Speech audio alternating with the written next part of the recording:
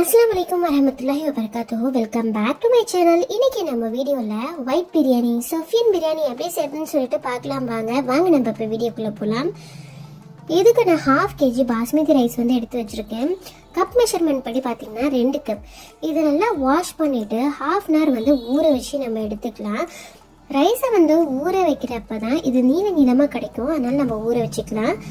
இது ஊறிட்டு இருக்கட்டும். அதுக்குள்ள மேரினேஷன் வந்து ரெடி பண்ணிடலாம். நாலு பெரிய சைஸ் வெங்காயம் வந்து நான் எடுத்திருக்கேன். இதெல்லாத்தையும் ஃபைனாக வந்து சாப் பண்ணி எடுத்துக்கோங்க. இதில் பாதி வெங்காயத்தை நம்ம பிரித்து வந்து எடுக்க போகிறோம் பாதி வெங்காயத்தை கையால் க்ரஷ் பண்ணி எடுத்து வச்சுக்கோங்க. க்ரஷ் பண்ண வெங்காயத்தை நம்ம ஆயிலில் ஃப்ரை பண்ணி எடுக்க போகிறோம் நம்ம பொரிச்சு எடுக்கிறப்ப தான் இந்த பிரியாணியோட டேஸ்ட் வந்து பர்ஃபெக்டாக வந்திருக்கும். ஸோ இதை வந்து பொறிச்சு எடுத்துக்கலாம். ஒருவேளை நீங்கள் பொரிக்கும் போது உங்களோட வெங்காயம் வந்து கருகி போச்சு அப்படின்னா அந்த வெங்காயத்தை தூக்கி போட்டுருங்க. வேறு பேட்ச் வந்து ரெடி பண்ணிக்கோங்க. அந்த வெங்காயத்தை வச்சு செஞ்சீங்க அப்படின்னாக்கா அந்த பிரியாணி மொத்தமாகவே வந்து ஸ்பாயில் ஆகிடும் இது வந்து பொரிஞ்சிட்டு இருக்கட்டும். அதுக்குள்ளே நான் வந்து ஜிஞ்சர் வந்து கட் பண்ணி எடுத்துக்கிறேன். அரை கப் வந்து இஞ்சி வந்து நம்மளுக்கு தேவைப்படும். அதாவது ஒரு இரநூறு கப் பிடிக்கிற அளவுக்கு ஒரு கப்பில் அரை கப் வந்து இஞ்சி இருக்கிற மாதிரி வந்து பார்த்துக்கோங்க.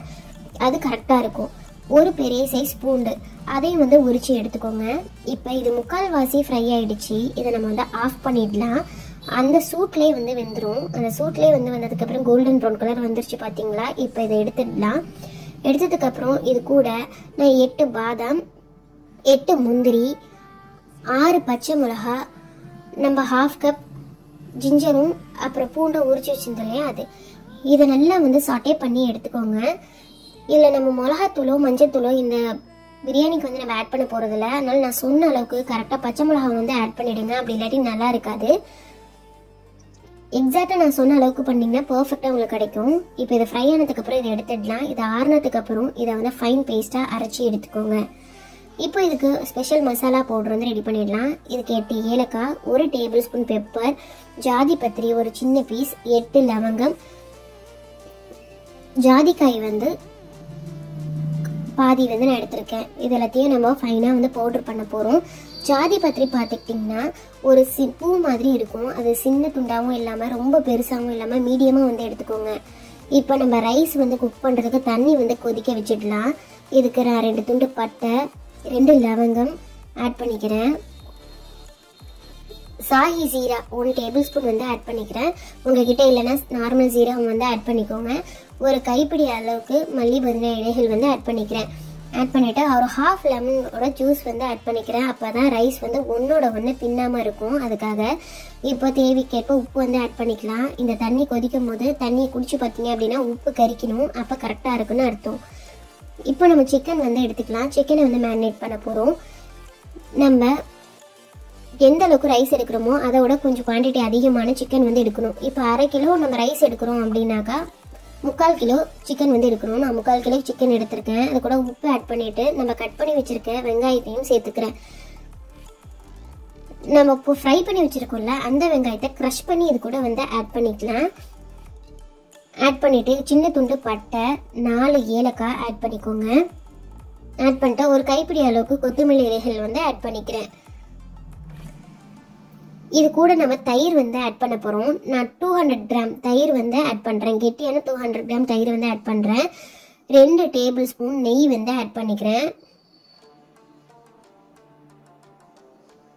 நான் ஃப்ரிட்ஜில் வச்சுருந்தேன் அதனால் கெட்டியாக இருக்குது இப்போ நம்ம வெங்காயம் ஃப்ரை பண்ணோம் இல்லையா? அந்த எண்ணெயை நான் வந்து எடுத்துருக்கிறேன் இது சிக்ஸ்டி எம்எல் கப்பு இந்த கப்பில் நீங்கள் வந்து சிக்ஸ்டி எம்எல் வந்து கரெக்டாக வந்து போடுங்க ஊற்றுங்க அதுக்கப்புறம் நம்ம ரெடி பண்ணி வச்சுருந்தா மசாலா பவுடர் ரெடி பண்ணோம்ல அது வந்து ஆட் பண்ணிக்கிறேன். இப்போ நம்ம ஒரு பேஸ்ட் வந்து ரெடி பண்ணோம் இல்லையா? பாதாம்லாம் அரைச்சி அந்த பேஸ்ட் இதையும் வந்து ஆட் பண்ணிக்கிறேன். இது கூட ஹாஃப் லெமனோட ஜூஸ் வந்து ஆட் பண்ணிக்கலாம்.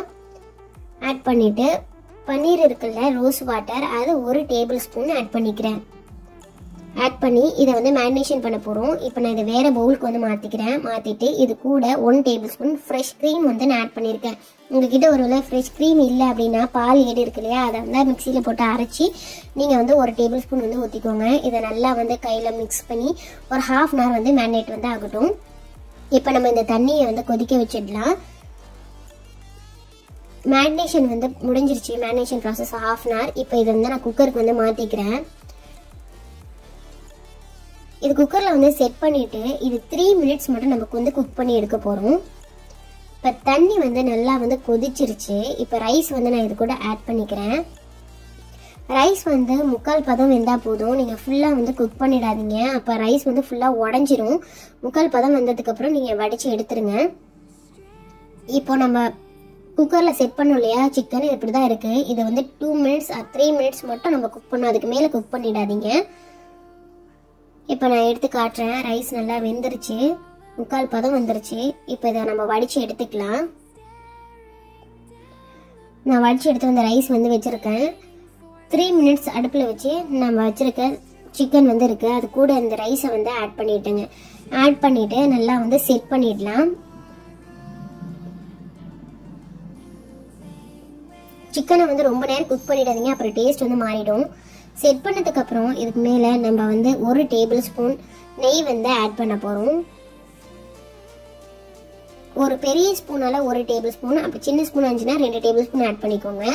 இப்போ நம்ம வெயிட் வந்து வைக்க போகிறோம் இப்போ நமக்கு இதை குக் பண்ணுறதுக்கு முன்னாடி நான் பழைய தோசைக்கல் வந்து வச்சுக்கிறேன். அதுக்கு மேலே நம்ம வந்து வெயிட் வந்து வச்சுக்கலாம். உங்ககிட்ட ஒரு வேளை தோசைக்கல் இல்லை அப்படின்னாக்கா தம் பிளேட் வந்து எடுத்துக்கோங்க. கரெக்டாக அரை மணி நேரம் இதில் வந்து இருக்கணும். ஸ்லோ ஃப்ளே ஸ்லோ ஃபயரில் வந்து இருக்கணும். அரை மணி நேரம் கழிச்சு நான் இதை ஓப்பன் பண்ணி காட்டுறேன். இது ஸ்லோ ஃபயர்லேயே வந்து இருந்துச்சு. அதுலேயே சிக்கன் வந்து நல்லா குக் ஆயிரும். இப்போ நம்ம ஓப்பன் பண்ணியாச்சு. நான் இப்போ வந்து எடுத்து காட்டுறேன் இது லைட்டாக வந்து மிக்ஸ் வந்து பண்ணுங்கள் நல்லா போட்டு கிண்டு கிண்டுன்னு கிண்டிடக்கூடாது லைட்டாக வந்து மிக்ஸ் பண்ணணும். அதான் இதோட டேஸ்ட்டே இப்போ இதை வந்து சர்வ் பண்ணுறதுக்கு ரெடி ஆகிடுச்சு சிக்கன் பார்த்தீங்கன்னா நல்லா ஜூஸியாக வந்து வெந்திருக்கும். சிக்கனை ஃபஸ்ட்டே நம்ம வேக வைக்கலையா நல்லா வெந்திருக்காதுன்னு நினைக்காதீங்க. நல்லா ஜூஸியாக இருக்கும். இது ரொம்ப சூடாக இருக்கு. என்னால் சிக்கன் பிச்சு காட்ட முடியல. சூப்பரான சோஃபியன் பிரியாணி ஒயிட் பிரியாணி நம்மளுக்கு ரெடி ஆயிடுச்சு. இந்த வீடியோ உங்களுக்கு பிடிச்சிருந்துச்சுன்னா லைக் பண்ணுங்க ஷேர் பண்ணுங்க மறக்காம சப்ஸ்கிரைப் பண்ணுங்க. இந்த ரெசிபியை ட்ரை பண்ணிட்டு மறக்காம என்னோட இன்ஸ்டாகிராம் பேஜ்க்கு ஃபோட்டோ சென்ட் பண்ணி வைங்க. தேங்க்ஸ் ஃபார் வாட்சிங்